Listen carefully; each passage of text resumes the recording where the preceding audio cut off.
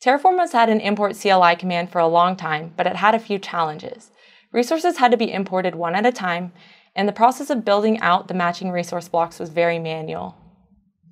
The import command also immediately modified the state file, which could lead to accidental resource changes or even deletion if another team member was making changes at the same time. Let's take a look at how the new config-driven import feature improves this workflow by introducing a new import block that allows you to declare in configuration which resources to import. I'm going to start out with an almost empty Terraform configuration, just the provider config and no resource blocks. I also have an import.tf file with our new import blocks. Each block is going to take in the ID of the resource from the provider, as well as the Terraform resource address where it'll be imported. As you can see, I can do this for many resources at once. Here I'm importing 11.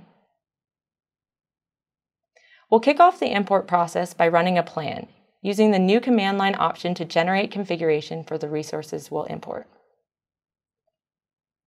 Terraform will read in each resource and generate a plan, which now includes the resources to be imported.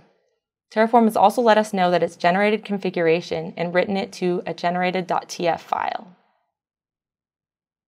Opening that generated.tf file, we can see the resource block for each of those 11 resources has been generated automatically, along with all of the attribute values for each. Config-driven import has also been integrated with Terraform Cloud.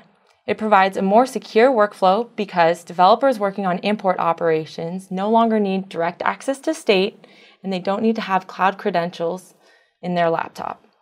In addition to the CLI workflow, which I just showed, Config-driven import is also supported for UI and VCS workspaces, which wasn't possible before. In the plan and apply run results in Terraform Cloud, you'll now see details of all the resources to be imported. Terraform Cloud also provides a view of generated code, which you can download and review before committing it to your Git repo. Now let's actually run and apply and import those resources to state. Thanks to the generated configs, this is a clean import with no unexpected changes to the resources.